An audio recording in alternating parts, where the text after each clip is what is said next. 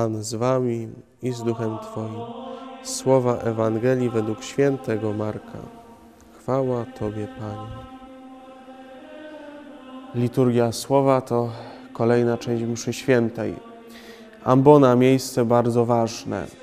Mamy usłyszeć samego Boga, który do nas mówi. Czy w czasie mszy świętej słuchamy? To jest pytanie, które warto sobie postawić, wsłuchując się w czasie każdej Eucharystii to, co Pan Bóg chce nam powiedzieć. Jezus wziął z sobą Piotra, Jakuba i Jana i zaprowadził ich samych osobno na górę wysoko. Tam przemienił się wobec nich. Jego odzienie stało się lśniąco białe, tak jak żaden wytwórca sukna na ziemi wybielić nie zdoła. I ukazał się im Eliasz z Mojżeszem, którzy rozmawiali z Jezusem. Wtedy Piotr rzekł do Jezusa, Rabbi, dobrze, że tu jesteśmy. Postawimy trzy namioty. Jeden dla Ciebie, jeden dla Mojżesza i jeden dla Eliasza. Nie wiedział bowiem, co należy mówić. Tak byli przestraszeni. Dzisiaj zajmiemy się tematyką Słowa Bożego. Do Słowa Bożego możemy podchodzić w dwojaki sposób. Najpierw mogę być tym, który słucha, potem mogę być tym, który głosi. Nie uwierzę, jeśli nie usłyszę. Jeśli Słowo Boże nie padnie w moje uszy, nie uwierzę. Zresztą Biblia mówi, Słowo Boże nie wraca bezowocne, dopóki jak kropla deszczu nie spadnie na ziemię, nie użyźni gleby, nie przyniesie plonu. Takie Słowo Boże, które pada w nasze ludzkie serca. Jak słuchać Słowa Bożego? To, czego potrzebuję, to wyciszenie serca. I po to przygotowujemy się do mszy świętej, po to wyciszamy się, żeby to Słowo mogło paść. Ale słuchając Słowa Bożego, staramy się zwracać uwagę na to, co to Słowo znaczy dla mnie. Takie uobecnienie. Bo to Słowo nie jest poza mną, ale jest skierowane właśnie dla mnie, do człowieka, który żyje tu, dzisiaj, w tym czasie, w tym miejscu. Pan Bóg mówi do mnie. Dlaczego Słowo Boże jest ważne? To nam może pokazać Ezdrasz i Nehemiasz. Te dwie postacie, które są obecne w czasie wygnania Izraela do Babilonu, do niewoli. Znajdują księgi, rozważają Słowo Boże, takich porusza, że zaczynają odczytywać to Słowo reszcie narodu wybranego. Namawiają króla perskiego, by pozwolił wrócić Izraelowi do Jerozolimy, żeby pozwolił odbudować Jerozolimę. Jak słyszymy w księgach, Izraelczycy płaczą, słuchając Słowa Bożego. A Słowo Boże jest czytane w sposób zrozumiały, z komentarzem, z wyjaśnieniem. Ludzie rozumieją je i to porusza serca. I takiego słowa pragniemy nam przy świętej. Takiego słowa potrzebujemy nam przy świętej, które będzie dla nas zrozumiałe, które przyniesie owoc w moim życiu. I właśnie moja postawa może mi pomóc w słuchaniu Słowa Bożego. Kiedy rozpoczyna się liturgia Słowa, kiedy chcemy wsłuchać się w Boże Słowo, wtedy moja postawa ma mi pomagać w rozważaniu, w słuchaniu.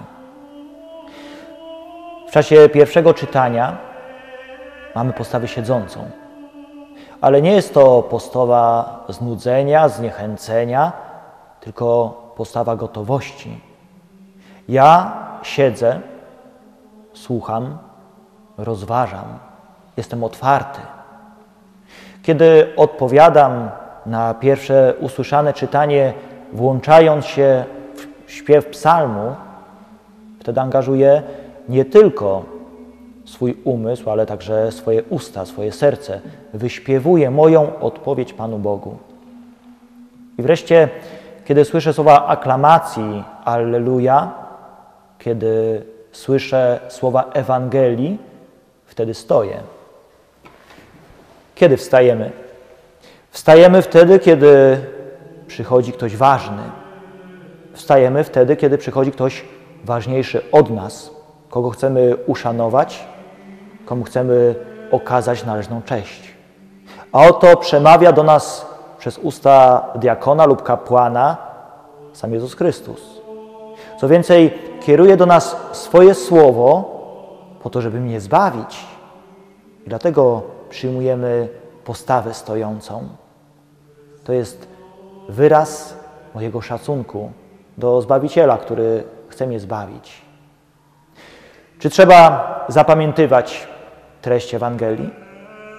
Czy trzeba ją znać, pamiętać, wracać do niej?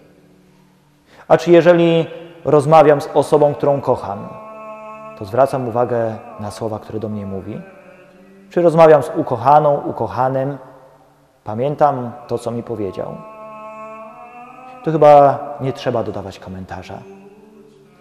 Słowo Boże, Ewangelia to moja rozmowa z ukochanym Zbawicielem, to słuchanie Jego słów, które ukochany mówi właśnie do mnie. Zły duch chce zabrać słowo z mojego serca, z mojego umysłu i z moich ust. Dlatego tradycyjnie, kiedy rozpoczyna się czytanie Ewangelii, czynimy potrójny znak krzyża na czole, na ustach i na sercu. Po to, żeby zły duch nie wyrwał tego słowa z naszego serca, z naszego umysłu, ani z naszych ust, byśmy tym słowem też się dzielili.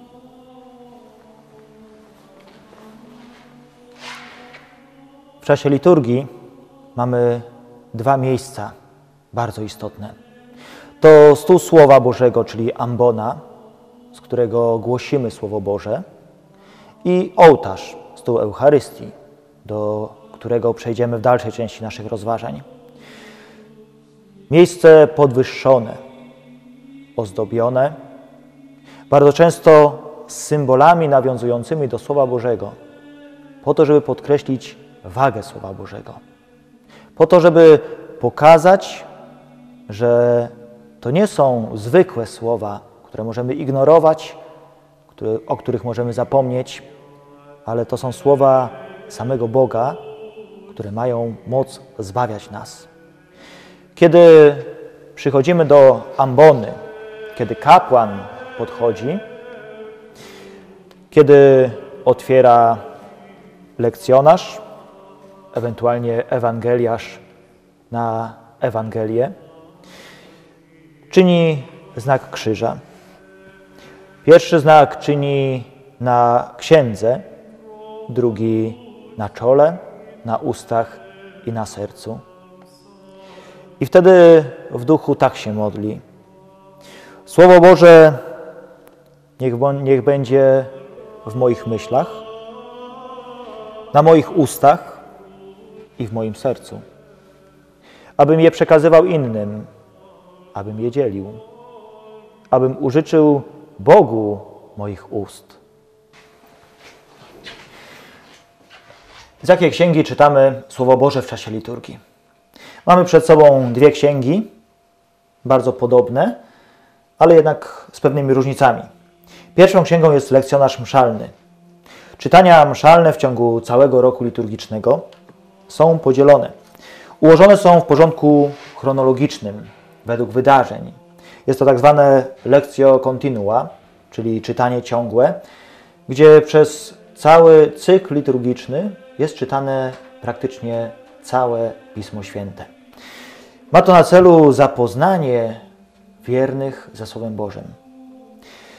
Przypatrując się układowi czytań w lekcjonarzu, możemy zobaczyć na przykładzie niedzieli, że najpierw jest czytanie ze Starego Testamentu, potem jest odpowiedź ludu wiernego na to czytanie poprzez śpiew psalmu, stąd też nasza konieczność włączania się w tą odpowiedź, czyli śpiewania.